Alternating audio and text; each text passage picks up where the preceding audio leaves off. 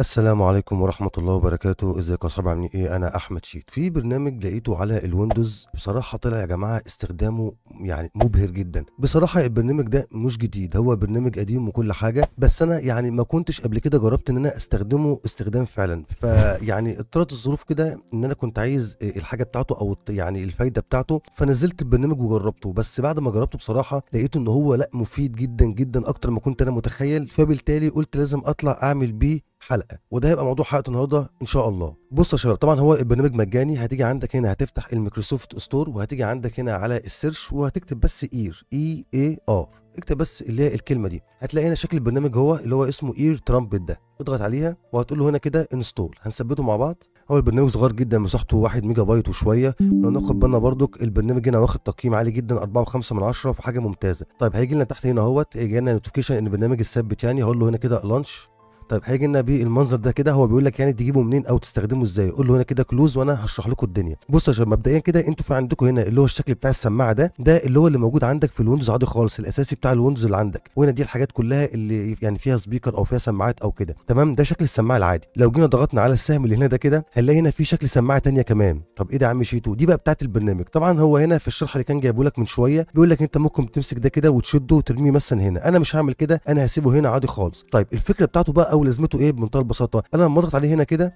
وناخد بالنا يا جماعة فوق هنا خالص كده أول شريط ده ده يعني بيعبر لي عن صوت الكمبيوتر أو صوت السماعات الأساسية عندي بصفة عامة. تمام؟ يعني أنا الصوت عندي دلوقتي عامل 57% ده الصوت بصفة عامة لل PC كله. طيب الحاجات اللي تحت دي كلها بقى هي دي فكرة البرنامج. إن أنا يا جماعة ممكن أقدر أتحكم في برنامج برنامج أتحكم في الصوت بتاعه. هنا مثلا ده هنا كده بيقول لي ده اللي هو ال system sound أو اللي هو صوت مثلا ال notification اللي هيجي لك على الويندوز أو كده ممكن تقلل الصوت بتاعها. طيب هنا مثلا في ال GameLoop. إيه ال GameLoop ده لو تاخدوا بالكم أنا فاتح هنا مثلا ببجي فانا هنا ممكن برضو ابقى يعني مخلي صوت الكمبيوتر كله عالي عالي. بس أجي على ببجي بس بالذات واوطي الصوت بتاعها. هنا مثلا دي كده برضو دي كلها برامج مفتوحة عندي في الخلفيه في عندك هنا مثلا ال Streamlabs اللي أنا بسجل بيه. في عندك هنا مثلا اللي هو ال Firefox. أنا مشغل فيديو هنا على اليوتيوب فانا ممكن مثلا اكون عايز اسيب صوت الكمبيوتر وصوت كل حاجة عالية جدا عندي مفيش أي مشكلة. بس أجي بس على صوت الفيديو اللي موجود على اليوتيوب هو ده اللي أنا مثلا اوطي صوته. في مثلا عندك هنا مثلا ال Media Player Classic. أنا مثلا لو أنت مشغل برضو فيديو هنا أو حاجة ممكن برضو تتحكم في الصوت بتاعه. الفايدة اللي فادتني جدا وبهرتني جدا بصراحة يا جماعة هي طبعا مش ظاهرة هنا لأن أنا مش بكلم حد أو مش مشغل البرنامج. اللي هو البرنامج بتاع الماسنجر ده. أنا كنت بكلم صاحبي وكنا بنلعب مع بعض بابجي وكده بس ما بنتكلمش على ال Discord. بنتكلم على اللي هو الماسنجر بتاع الفيسبوك. فكان هو لما بيحصل معاه fight أو حاجة كان صوت ضرب النار بيبقى كله أكني قاعد جنبه. الصوت بيبقى عالي جدا في ودني. وهو كان صوته عالي جدا. وللأسف أنا ما عنديش هنا ال ability أو المقدرة إن أنا أقدر أوطي صوته هو بس. أسيب صوت الكمبيوتر عالي وصوت لعبة بابجي كلها عالية وأسيب كل حاجة في صوتها العادي أو الطبيعي وأجي مثلا على صوت صاحبي بس اللي بيكلمني في الصوت ده وأوطي صوته هو. فبالتالي أنا كنت عارف البرنامج ده فنزلته فالماسنجر طبعا كان ظاهر معايا هنا. هو طبعا مش ظاهر دلوقتي لأن أنا ما بكلمش حد دلوقتي. لو أنت بتكلم حد وفي مكالمة صوتية بينك وبين حد هيظهر معاك هنا. وبالتالي دخلت ووطيت صوته من هنا. فبصراحة حسيت بمتعة البرنامج لأن أنا خليت صوت لعبة ببجي زي ما هي صوتها الطبيعي عشان أسمع صوت الخطوات ولو في حد جنبي أو الكلام ده كله وفي نفس الوقت صوت الشخص اللي أنا بكلمه وطيت صوته أو اتحكمت في الصوت بتاعه. قيس على كده بقى أي برنامج عندك أو أي حاجة عندك فيها صوت أنت ممكن تتحكم